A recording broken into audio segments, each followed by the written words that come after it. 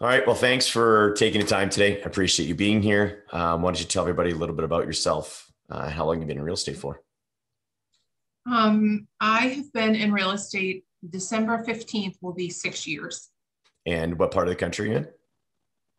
Uh, the deep south, Louisiana. I'm 45 minutes north of New Orleans um, on the north shore of the city. Beautiful. And tell us a little bit about um, I guess your first time homebuyer webinar. How many have you done already? So I've only done one. Um, okay.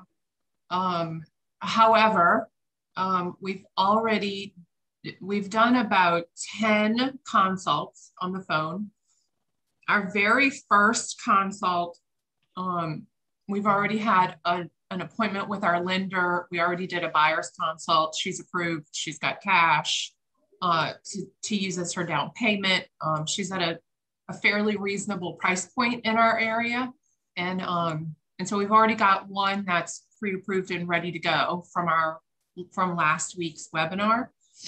And um, out of 10 of those phone consults, not everyone was ready to go immediately, which I knew not to expect, but they were very good phone calls um, and very motivated.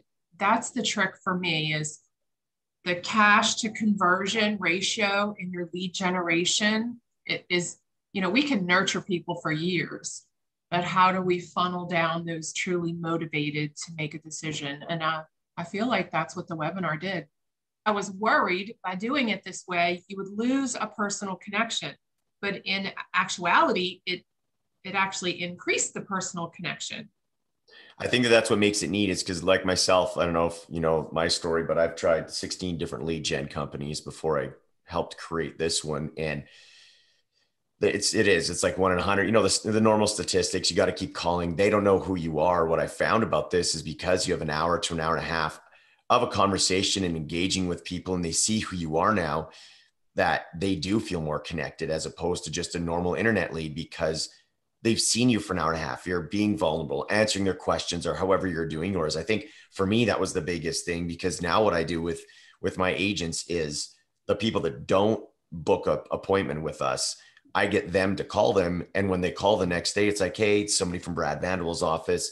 You know, what do you think of the webinar?" And their conversations, they said the best they've ever had because they know who I am. I've given them some time with nothing in return, and yeah, I know what you're saying because we stopped doing them in-person uh, webinars whenever we were doing the first time home buyer in person. And this way it's more scalable it takes less time it, it's less money actually like all these important things i found. And and yeah i'm, I'm great that you I'm, I'm very thankful that you had the same reception with people too because there is a connection there because you're having that conversation.